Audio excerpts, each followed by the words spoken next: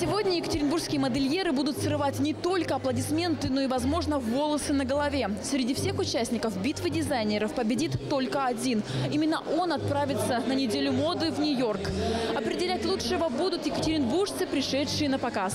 Мы не разбираемся в высокой моде, но постараемся разобраться во вкусах и предпочтениях жителей нашего города. Пойдемте! Одно платье от бренда Марте, одно платье от кутюрников.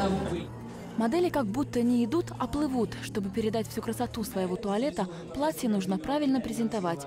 Впечатление от показа складывается из десятков деталей, под прицелом зрительских глаз, каждое движение дефилирующих девушек.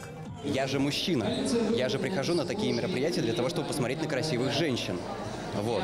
И то, что у женщины закрыта спина, э, я считаю, это минус 10 баллов по шкале сексуальности. Не, так не пойдет.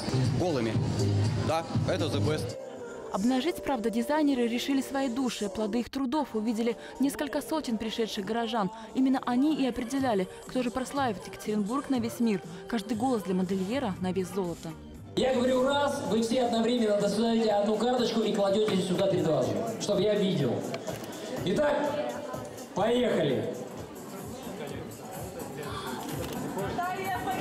Друзья, Татьяна Ишова, Наталья Фомина, победитель битвы дизайнеров.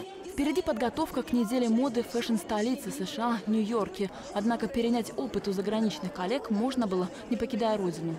Дамы и господа,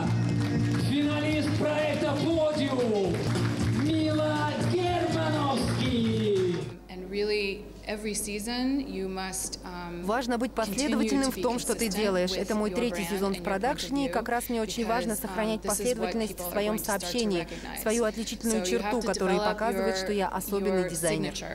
К такому совету однозначно стоит прислушаться. Мила, чей талант уже был оценен самим Кельвином Кляйном, знает, что говорит.